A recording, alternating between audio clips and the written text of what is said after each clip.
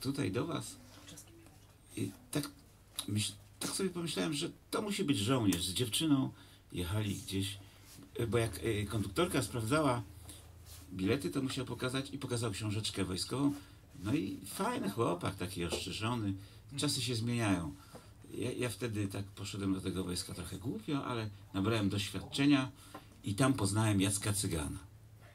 We wojsku. We wojsku właśnie. I tam powstała, no tak było, no opowiadam jak na spowiedzi.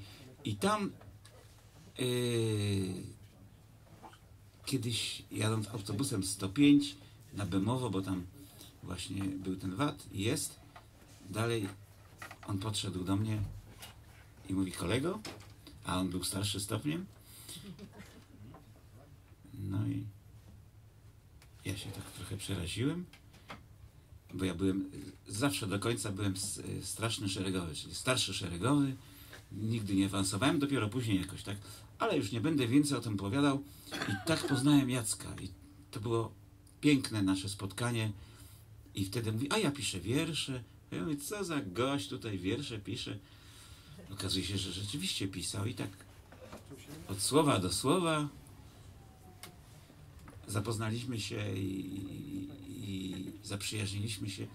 I wtedy niedawno później powstała taka piosenka, którą na pewno pamiętacie, z giełdy niejednej, sen znaleziony w lesie.